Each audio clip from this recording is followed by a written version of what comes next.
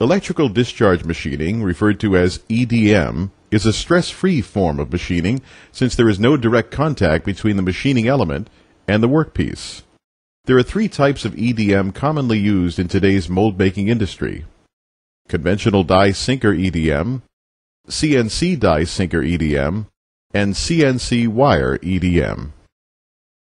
Conventional die sinker EDM machines use electrodes which contain the detail that is to be machined into the metal workpiece. Electrodes are made from conductive material such as graphite or copper. The electrode is placed into the machine. A positive or negative electrical charge is applied to the electrode and the opposite charge applied to the workpiece. One restriction of the conventional die sinker EDM machine is that the burning can only take place in the Z direction. As the electrode lowers and nears the workpiece, an electrical spark jumps from the electrode to the metal.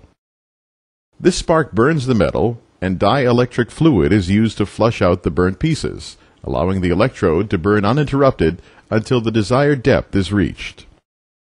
When the burning is complete, the result is an impression of the electrode in the metal. The distance between the electrode edge and the burnt metal is referred to as overburn or spark gap.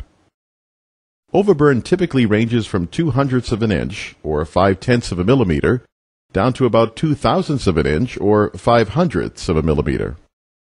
Higher voltages and amperages result in a larger spark, therefore increasing the amount of overburn. To compensate for overburn, electrodes are built undersized.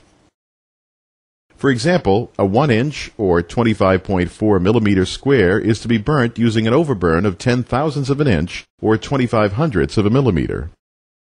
The overburn has to be subtracted from both sides of the desired square. Therefore, the electrode would have to be 1 inch or 25.4 millimeters square minus twice the overburn. The result would be an electrode of 980 thousandths of an inch square or 24 and 90 hundredths of a millimeter. If a 1 half inch or 12.7 millimeter circle was desired in the middle of the square, the circle cut in the electrode also has to compensate for the overburn. Thus the circle in the electrode must be larger than the desired circle on the workpiece.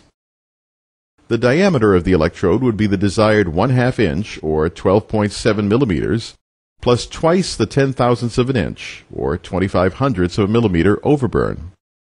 In this case, the resultant circle within the electrode would have a diameter of five hundred and twenty thousandths, or thirteen and twenty hundredths millimeters.